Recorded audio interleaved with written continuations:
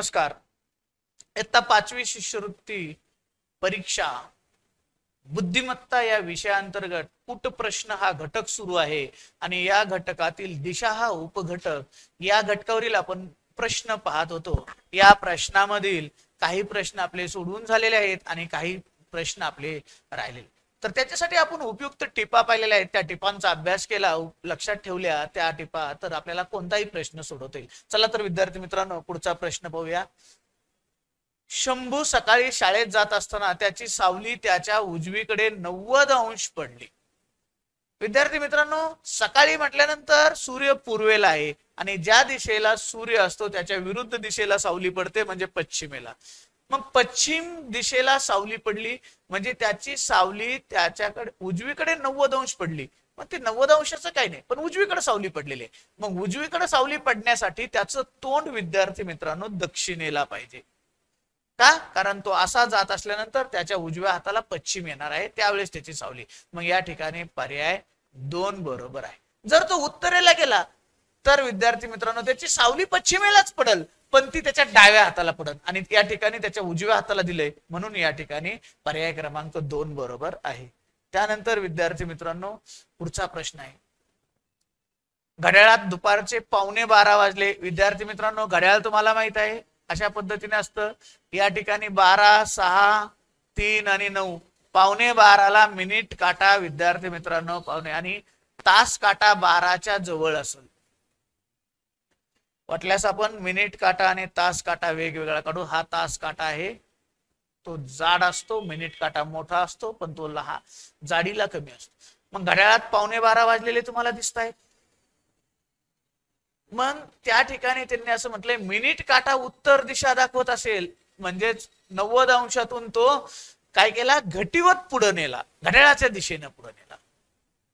तर विद्यार्थी मित्रांनो तास काटा सुद्धा घड्याळाच्या दिशेनं पुढे गेला पाहिजे. आणि मग तो नव्वद अंशातून पुढे गेला तर तो आता जवळजवळ उत्तर दिशा दाखवतो. तर त्या ठिकाणी विद्यार्थी मित्रांनो तास काटा आता नव्वद अंशातून पुढे नेला तर ही दिशा दाखवल. आणि मग ही ही दिशा म्हणजे तीन वाजायला फक्त पंधरा मिनिटं कमी. याचा अर्थ या दिशेला या दिशेला मग या ठिकाणी पूर्व दिशा आहे. तुम्ही एकदम असा तिरका असता तर ती उपदिशा घेतली असती. इथं पूर्वेकडे आहे आणि पूर्व पर्याय क्रमांक तीन मध्ये दिलेला आहे. त्याचं स्पष्टीकरण दिलेलं आहे पर्याय तीन बरोबर. त्यानंतर पुढचा प्रश्न आहे बघा. आर्या घरापासून शेतात जाताना किती वेळा उजवीकडे वळाली? परत एकदा तसाच. उजव्या बाजूचे कोपरे मोजायचे पण त्या ठिकाणी घर कुठे आधी ते पहा. घर इथं दिलंय. नाहीतर आपण लगेच इकडून सुरुवात करू. इथं शेत दिलेलं आहे. मग घरापासून शेताकडे जाताना पहिल्या वेळा तू कुणीकडे वळली? डावीकडं. मग हे जो कोण आहे तो डाव्या बाजूचा आहे. आपल्याला मोजायचे उजवीकडचं म्हणजे वरच्या बाजूनं ती आकृती पॅक करावी लागणार आहे. आणि मग बघा उजवीकडं.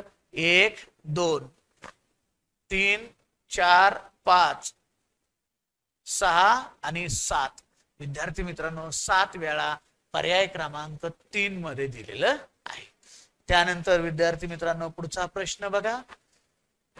सिद्धेश मुंबई शहराकडे तोंड करून उभा आहे. आता विद्यार्थी मित्रांनो मुंबई तुम्हाला माहिती आहे पश्चिमेला आहे. कारण भारत भारताच्या नाकाशात पण पश्चिमेला आहे महाराष्ट्राच्या नाकाशात. पण मुंबईकडे तोंड करून उभा आहे याचा अर्थ तो हाय कोणत्या दिशेला हे कुठं माहिती आहे आपल्याला?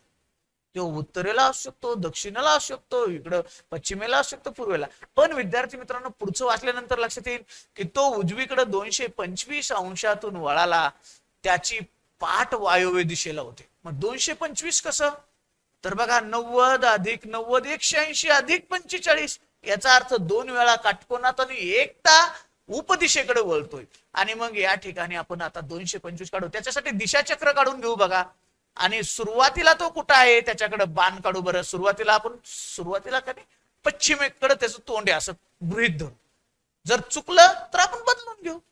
आणि मग बघा दोनशे पंचवीस अंशातून उजवीकडे. विद्यार्थी मित्रांनो उजवी बाजू या ठिकाणी पश्चिमेला तोंड आहे हे पंचेचाळीस होतंय बघा. आणि मग दोनदा नव्वद हे नव्वद आणि हे नव्वद.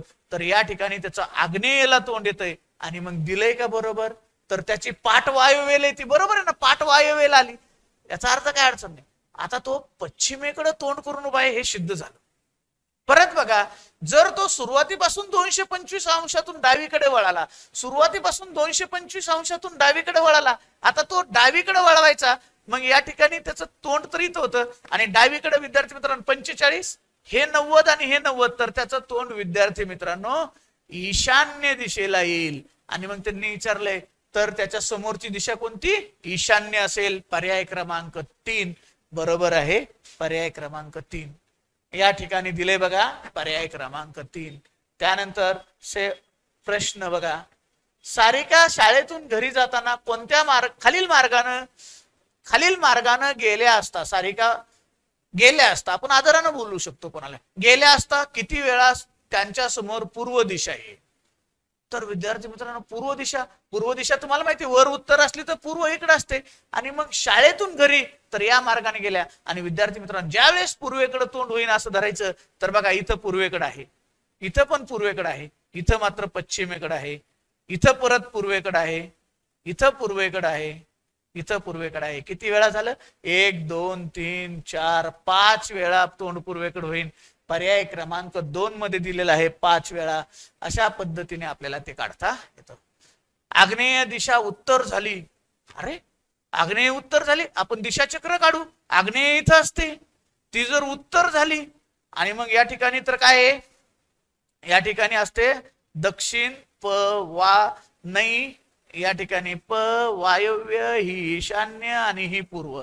आणि मग त्यांनी सांगितले आग्नेय दिशा उत्तर झाली. आग्नेय दिशा ही उत्तर झाली म्हणजे उत्तर पुढे आली तर ईशान्येला पश्चिम आली. ईशान्येला पश्चिम आली. आपण पेन बदलून काढूया. लगेच लक्षात येईल बघा तुमच्या. आग्नेय दिशा काय झालेली आहे आग्नेय दिशा आग्नेय दिशा उत्तर झाली इथं उत्तर आली बघा. आणि पुढं म्हटलंय ईशान आग्नेय दिशा उत्तर झाली. ईशान्येला पश्चिम आली. ईशान्य कुठं आहे? इथं पश्चिम आली. तर विद्यार्थी मित्रांनो ही बघा. एक दोन तीन घरं पुढे गेली. मग पश्चिम सुद्धा बघा बरं. एक दोन तीन घरं आली. ओके. म्हणजे घटीवर तीन घरं तीन उपदि उपदिशा मुख्य दिशा उपदिशा अशा तीन घरं पुढे आली. तर त्यांनी सांगितलंय तर विद्यार्थी मित्रांनो पश्चिमचे काय होईल? मग पश्चिम इथं आहे. तर त्याच्यापाशी तीन घरं कोणती? एक दोन तीन. म्हणजे आग्नेयच पश्चिमला येईल. तर पश्चिम दिशेला आग्नेय दिशा येईल. आणि मग विद्यार्थी मित्रांनो आग्नेय आपल्याला दिलेलं आहे. धन्यवाद. या ठिकाणी आपला दिशा हा घटक संपलेला आहे.